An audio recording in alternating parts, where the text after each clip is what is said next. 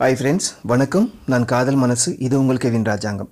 நம்ம சேனலில் லவ் பற்றியும் லைஃப் பற்றியும் அதில் இருக்கிற பிரச்சனைகள் அதற்கான தேர்வுகள் பற்றி பேசிகிட்ருக்கோம் தினம் தினம் புது புது விஷயங்கள். புதுசாக வந்து பார்க்குற வியூவராக இருந்தீங்கன்னா நம்ம சேனலை சப்ஸ்கிரைப் பண்ணிவிட்டு உங்கள் ஃப்ரெண்ட்ஸுக்கும் ஷேர் பண்ணிவிட்டு பார்த்தீங்கன்னா பெட்டராக இருக்கும். சேனலை சப்ஸ்கிரைப் பண்ணுங்கள் எனக்கும் சப்போர்ட் பண்ணுங்கள் பக்கத்தில் ஜாயின் பட்டன் இருக்குது அதை ப்ரெஸ் பண்ணிங்கன்னா அந்த டீட்டெயில்ஸ் உங்களுக்கு தெரியும். ஸ்பான்சர் பண்ணி சப்போர்ட் பண்ணுங்கள் அதே மாதிரி இன்றைக்கி பேச போகிற விஷயம் லவ் பண்ணுறோம் லவ் பண்ணுறதுக்கான விஷயங்கள் எல்லாம் தெரிஞ்சு தான் பண்ணுறோமா இல்லை நம்ம காதல் எதை நோக்கியிருக்கு? எதை எதிர்பார்க்குறோம் அவங்கக்கிட்ட நாம் எதிர்பார்க்குற அந்த விஷயம் கிடைக்குமா? அது கிடைச்சா தானே சக்ஸஸ் ஆகும்? அது கிடைச்சா தானே லைஃப் லாங் அவங்களோட நம்ம வாழ முடியும்? அது கிடைக்குமா? இல்லை அது கிடைக்காதா? இப்படி எதுவுமே தெரியாமல் ஒரு காதலை பண்ணுற உங்களுக்கு இந்த வீடியோ யூஸ்ஃபுல்லாக இருக்கும் அப்படின்னு நான் நினைக்கிறேன். ஒரு சின்ன புரிதல் தான். ஒரு தெளிவடைய வைக்கிற ஒரு விஷயம். நல்லா பார்க்கணும். இந்த வயசில் எந்த வயசாக கூட இருக்கட்டும். முதல் காதல் வந்தால் எல்லாருமே குழந்தைகள் ஆயிடுறீங்க. முப்பது வயசில் இருந்தால் கூட கல்யாணமாய் திருமணம் ஆனவர்கள் கூட இடையில் ஒரு காதல்னு வரும்போது பதினெட்டு வயசுக்கு மாறிடுறாங்க. குழந்தை மாதிரி ஆயிடுறாங்க. அப்படியே பிளாங்க் ஆகிடுது எதுவுமே தெரியல. கண் மறைக்கப்படுது. அப்படியே அவர்கள் தான். நான் நேசிக்கிற அவன் தான் நான் நேசிக்கிற அவ தான் உலகம். இந்த உலகத்தில் வேறு எதுவுமே இல்லை. அவளை தவிர அவனை தவிர. அந்த மாதிரி ஒரு ஃபீலிங்குள்ளே வந்துடுறாங்க. ஸோ அதனால் எந்த வயசாக கூட இருக்கட்டும். காதலிக்கணும் அப்படின்னு நீங்கள் ஆரம்பித்ததுக்கப்புறம் காதல் அப்படிங்கிற ஒரு எண்ணம் வந்ததுக்கப்புறம் தனிமை நம்மளை அந்த விஷயத்துக்கு கொண்டு போயிருக்கும். நம்மளுடைய ஆறுதலற்ற ஒரு நிலை நம்மளை யாரும் அன்பு செய்யலை அப்படிங்கிற ஒரு ஃபீலிங் பக்கத்தில் இருக்கிறவங்க எல்லாருமே அன்பாக பண்பாக தான் பேசிக்கிட்டு இருப்பாங்க. ஆனால் நம்ம அதை அப்படி நினைக்கிறதில்ல. வெறும் நட்பாக நினச்சிருவோம். வெறும் ஒரு சாதாரண விஷயமா எடுத்துருவோம்.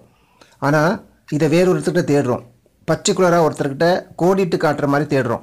அன்பு ஓ அதுதான் கோடிட்டு அன்பு. ஸோ அந்த அன்பு மட்டும்தான் அப்படியே கோடிட்டு காட்டக்கூடிய அளவுக்கான ஒரு அன்பாக இருக்குது அது மட்டும்தான் பாசம். மற்றவங்க கொடுக்குறதெல்லாம் பாசம் இல்லை. அதுதான் கேரிங் அப்படிங்கிற மாதிரி மனசுக்குள்ளே நினச்சிடுறோம். அதனால தான் புதுசாக வந்து ஒருத்தர் பேசும்போது அதில் இந்த ஹார்மோன்கள் வேலையும் இருக்குது மற்ற தேவைகளும் இருக்குன்னு வச்சுக்கோங்களேன்.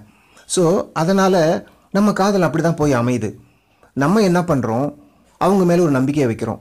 இவங்க தான் நமக்கானவர்கள். இவங்க தான் நமக்கு எல்லாமே அப்படின்னு ஒரு நம்பிக்கையை வைக்கிறோம். அவங்களும் அந்த நம்பிக்கைக்கு தகுந்த மாதிரியே பேச ஆரம்பிக்கிறாங்க. என் கண்ணே மணியே பொண்ணே எல்லாம் போட்டு ரொம்ப ஜாலியாக பேசுகிறாங்க ரொம்ப கேரிங்காக பேசுகிறாங்க எதிர்காலத்தை பற்றியெல்லாம் ஒரு கனவை நம்ம முன்னாடி விரிக்கிறாங்க. ஒரு கற்பனை வலையை நம்ம முன்னாடி விரித்து நம்ம அப்படி இருக்கலாம் இப்படி இருக்கலாம் நீ தான் எனக்கு உலகம். உன்னை விட்டால் எனக்கு வேறு எதுவுமே இல்லை. எத்தனை தடைகள் வந்தாலும் எத்தனை எதிர்ப்புகள் வந்தாலும் நம்ம தான். நம்மளை விட்டால் வேறு ஜோடியே கிடையாது அப்படிங்கிற மாதிரி சொல்லி வச்சுருவாங்க. உடனே நீங்களும் அந்த கற்பனை வலைக்குள்ளே மாட்டி அப்படியே இன்பக் கடலில் அப்படியே மிதக்குவீங்க. அப்படியே மூழ்கி மூழ்கி மிதப்பீங்க அப்படியே. என்ன சுகம்? நினைக்க நினைக்க அப்படியே இந்த இந்த ஜென்மத்தில் இல்லை இன்னும் பல ஜென்மங்கள் இப்படியே வாழ்ந்துக்கிட்டே இருக்கலாமோ அப்படியெல்லாம் தோணும்.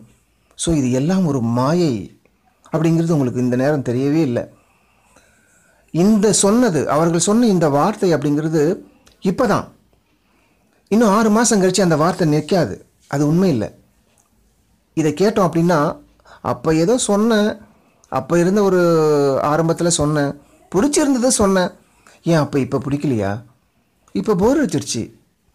ஸோ இதெல்லாம் அவங்க சொல்கிற ஒரு வார்த்தைகள். அதனால தான் நான் இந்த வார்த்தைகளை நம்பாதீங்க அப்படிங்கிறேன். வார்த்தை தான் ஜீவனானது. வார்த்தை தான் உயிர் உள்ளது. உங்கள் காதலுக்கு உயிர் கொடுக்கறது அப்படிங்கிறது வார்த்தைகள் தான். நீங்கள் கொடுக்குற உயிரை தாண்டி அந்த காதலை வாழ வைக்கிறது வார்த்தைகள் தான். இப்போ ரெண்டு பேர் காதலிக்கிறோம். நீங்களும் சைலண்ட்டாக இருக்கீங்க நானும் சைலண்ட்டாக இருக்கேன். எதுவுமே பேசலை. காதல் வளரும். ஒரு பிடித்தம் இருக்கும். அவ்வளவுதான். ஆனால் அது அப்படி தான் இருக்கும். சொல்லப்படாத காதலா. பேசி பேசி தான் மனசை மாற்ற முடியும். பேச பேச அந்த மனசு அந்த காதல் வயப்படும். அதுதான் இருக்கிற ஃபேக்டாக இருக்குது அதனால தான் வார்த்தைகளை நம்புகிறோம் அந்த வார்த்தைகள் எல்லாமே உண்மைன்னு நினச்சி அதுபடி நடக்க ஆரம்பிச்சிடுறோம். ஆனால் அது அல்ல. அது எல்லாமே ஆசை வார்த்தைகள் தான் நம்மளை மயக்கிறதுக்கும் நம்மளை அவங்க பக்கம் இழுக்கிறதுக்குமான ஒரு வார்த்தைகள் அப்படிங்கிறத இங்கே புரிஞ்சுக்கணும். உண்மையான காதலில் இது இருக்காது அப்படிங்கிறதையும் நான் ஏற்கனவே சொல்லியிருக்கேன். ஸோ அதனால் என்ன மாதிரி பேசுகிறாங்க எது போல் நடந்துக்கிறாங்க அப்படிங்கிறத பொறுத்து தான் நீங்கள் ஒரு முடிவுக்கு வரணும். அதனால் எடுத்தோடனே இந்த காதல் வந்து அப்படியே இதுதான் சாஸ்வதம் இதுதான் உலகத்தில் இருக்கிற எல்லாத்தையும் அடித்து போட்டுட்ட காவிய காதல் அப்படின்லாம் நீங்கள் சொல்லவே முடியாது. ஆறு மாதத்துக்கு அப்புறம் வாழ்க்கை மாறுது ஒரு வருஷத்துக்கு அப்புறம் வாழ்க்கை மாறுது. பத்து வருஷம் லவ் பண்ணோம். எட்டு வருஷம் அஞ்சு வருஷம்னு வருஷங்களை குறிப்பிடுறீங்க. அது எல்லாமே எப்படி உங்கள் கூடவே இருந்தாங்க அப்படிங்கிறத நீங்கள் யோசிக்கணும். அடுத்த சோர்ஸ் இல்லை. அடுத்ததை பார்க்குறதுக்கும் பேசுகிறதுக்குமான வாய்ப்புகள் குறைவு. இது ஒன்றே போதும். ஏன்னா இதுதான் நம்மளோட பழகின ஒரு விஷயம். இந்த பழகின விஷயங்களோட போகிறதுங்கிறது ரொம்ப ஈஸி கஷ்டம் இல்லை. புதுசாக ஒருத்தரோட போகிறது கஷ்டம். அட்லீஸ்ட் ஒன் இயர் கூட ஆகும். அவங்கள மாற்றி நம்ம வழிக்கு கொண்டு வந்து பழையபடி ஒரு வாழ்க்கையை வாழணும் அப்படின்னா. அதனால் பழையவர்களோடு அப்படியே தொடர்ந்துக்கிட்டே இருப்பாங்க. எதுவரை? தனக்கு ஒரு கல்யாணம் வரும் வரை. தனக்கு ஒரு காதலி கிடைக்கும் வரை. தன்னோட அப்பா அம்மா அடுத்த கல்யாணத்துக்கு ஏற்பாடு பண்ணும் வரை. அப்படிங்கிறத நீங்கள் புரிஞ்சுக்கணும். ஆண்களுக்கு மட்டும் இல்லை ரெண்டு பேருக்கும் சேர்ந்து தான் சொல்லிகிட்டு இருக்கேன். ஸோ இந்த விஷயங்கள் இதைத்தான் நீங்கள் யோசிக்கணும். நீங்கள் இப்போ பண்ணுற இந்த காதல் ஜெயிக்குமா? ஜெயிக்காதா? என்னை பொறுத்தளவுக்கு எண்பது பர்சன்டேஜ் ஜெயிக்காமல் தான் போயிட்டுருக்கு எல்லா காதலும். எல்லாமே உங்களை மாதிரி நம்பி முழுசாக உயிருக்குயிராக காதலிக்கிறவங்க தான். யாரும் மேலோட்டமாக காதலிக்கிறவங்களாம் கிடையாது. ஏமாத்துறவங்க மேலோட்டமாக தான் வருவாங்க. ஸோ தயவு செஞ்சு இந்த காதலை இப்போ நீங்கள் பண்ணுற இந்த காதல் உங்களை ஏமாற்றுவதற்கு உரியது அப்படிங்கிறத உள்ளுக்குள்ளே வைங்க. அது நல்ல காதலாகவே இருக்கட்டும் தப்பு இல்லை. ஆனால் அப்படி ஒரு விஷயத்தை உள்ளே போடுங்க உங்களுக்குள்ளே ஒரு எச்சரிக்கை உணர்வு வரும் ஒரு கவனம் வரும் அந்த கவனம் படி அவங்களோட பழக ஆரம்பிப்பீங்க. ஏன்னா எல்லா காதலுக்குமான முடிவு பிரேக்கப்பாக தான் இருக்குது அது உங்களுக்கு தெரியவே தெரியாது. எங்கள் காதல் பிரேக்கப்பே ஆகாது. எங்கள் காதல் கண்டினியூவாக வரும் அப்படின்னு தான் நீங்கள் சொல்லிகிட்டு இருப்பீங்க. ஆனால் விஷயம் உங்களை மாதிரி அவங்களும் காதலிச்சா மட்டும்தான் அது சாத்தியம். ஆனால் அவங்க வரவங்க உங்களை மாதிரி தான் டீப்பாக ரொம்ப ஆழமாக லவ் பண்ணுறாங்க அப்படிங்கிறத யாராலையுமே புரிஞ்சிக்க முடியாது. நீங்கள் மட்டும் எப்படி புரிஞ்சுப்பீங்க? ஏன்னா நம்ம இருக்கிறதே அந்த ஒரு போதையில் இருக்கிறோம். தெளிவான விஷயங்கள் எப்படி நம்ம பார்வைக்கு வரும் நம்ம அறிவுக்கு வரும்? வராது. ஸோ அதனால் ரொம்ப கஷ்டப்படுறீங்க. ரொம்ப நொந்து போகிறீங்க வாழ்க்கையே தொலைச்சிடுறீங்க. இதுக்கப்புறம் லைஃபே இல்லைங்கிற மாதிரி ஆயிடுறீங்க. இது எவ்வளோ பெரிய ரணம்? காதலிக்கிற எல்லாரும் ஒரு நிமிஷம் யோசிச்சு பாருங்க. சப்போஸ் விட்டுட்டு போயிட்டா உங்கள் நிலமை? அதோ கதி. யார் வந்து தேற்ற முடியும் உங்களை? யார் உங்களுக்கு ஆறுதல் கொடுக்க முடியும்? வாய்ப்பே இல்லை. அதோட என்ன நடக்குது பாருங்களேன். அந்த ஒரு ஃபெயிலரோட முடிஞ்சு போயிடுதா? திரும்ப ஒரு கல்யாணம் நடக்குதுன்னு வச்சுக்கோங்களேன் உங்களுக்கு. யாரோ ஒருத்தரோட வேற ஒரு வரனோட ஒரு அரேஞ்ச் மேரேஜ் ஒன்று வச்சுக்கோமே. அங்கே போய் சந்தோஷமாக இருப்பீங்களா? சந்தோஷமாக இருக்க முடியுமா? அப்போ அவங்களுக்கு செய்- ஒரு பெரிய துரோகம் ஆயிடுது இல்லையா? ஸோ அதனால் நிறைய விஷயங்கள் பார்க்க வேண்டியிருக்கு. அதனால தான் லவ் வேண்டாம் இப்போ லவ் வேண்டாம் வேண்டாம்னு சொல்லிட்டு இருக்கிறதுக்கான காரணம்.